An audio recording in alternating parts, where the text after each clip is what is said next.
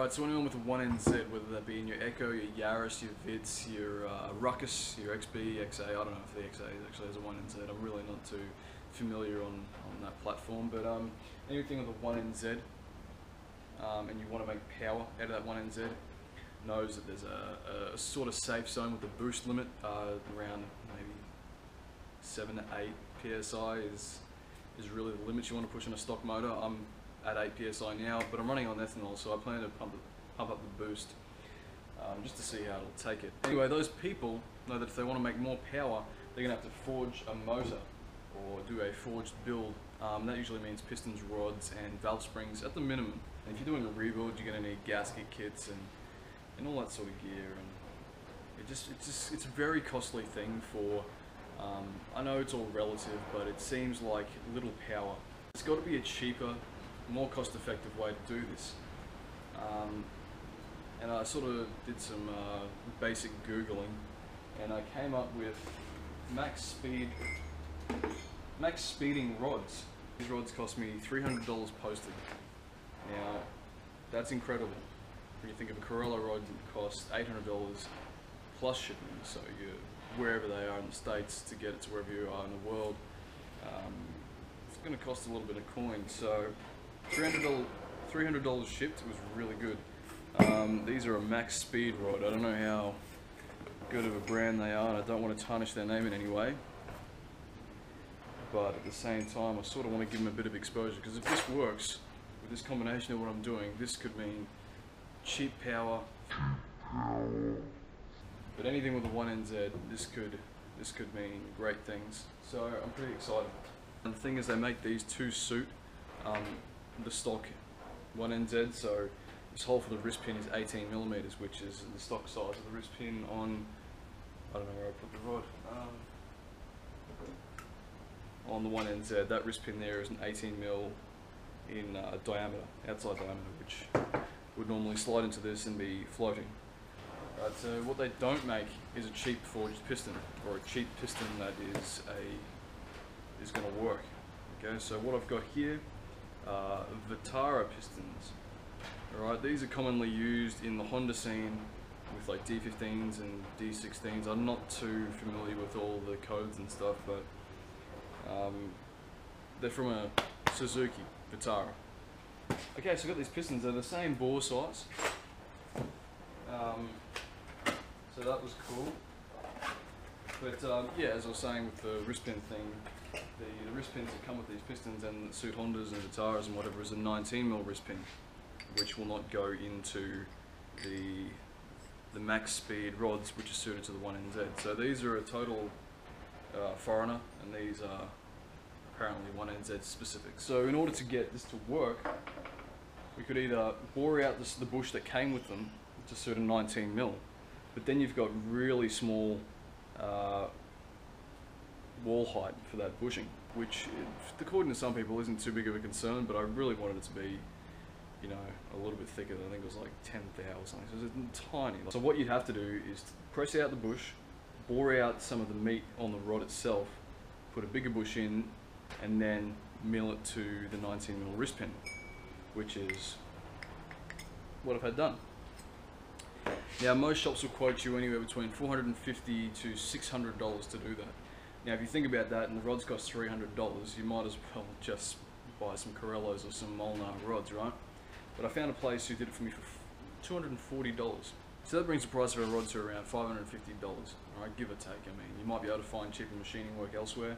That's, that's still a big saving. And considering the pistons cost me $200 posted, um, that's incredible. So what that's basically done is allowed these Vitara pistons to go on our 1NZ rods. Now there's all sorts of other clearance issues and and center offset between the center center line of the piston and the skirt of the piston that we've got to look at. But um, I've done some quick measurements and with the Honda guys, I think what they have to do is, um, you know how normally there's a timing mark pointing to pointing to where the timing chain goes?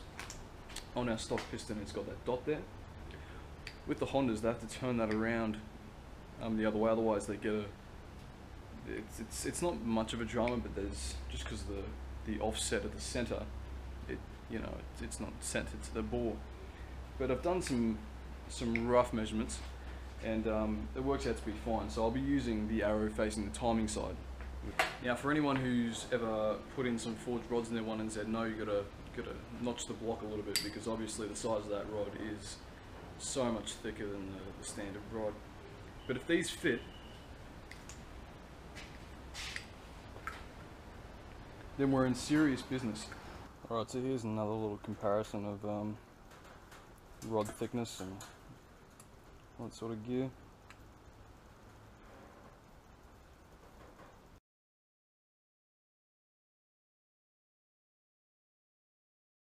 Okay, so we've got our max speed rod apart. What we're going to do is put in the bearings from a random piston. I think this might be piston number three out of that one.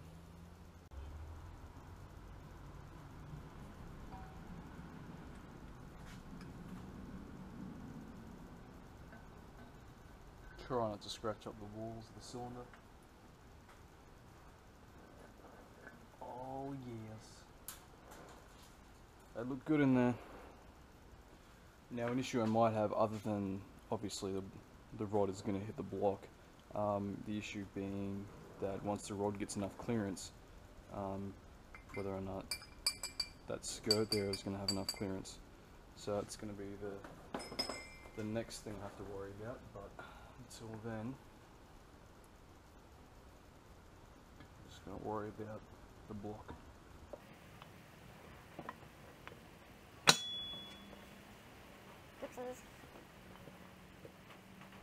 And these rods come with ARP studs as well, so ARP. Don't know how legit they are. But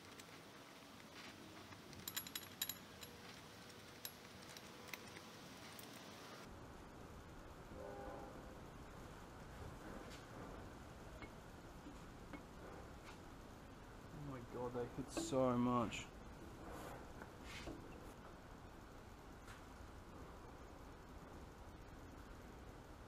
You good?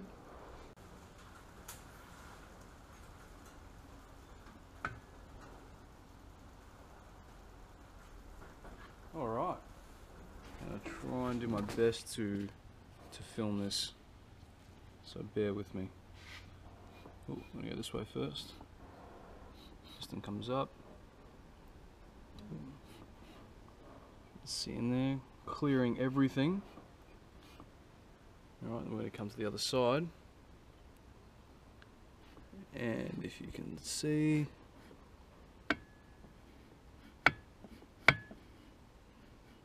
we're hitting there. Alright, so I've been grinding this thing, um, probably I spent maybe three hours on it last night. And I've only gotten one and a half of the notches done, um, which is, I don't know if that's a good time or not, but um, it certainly doesn't feel like it.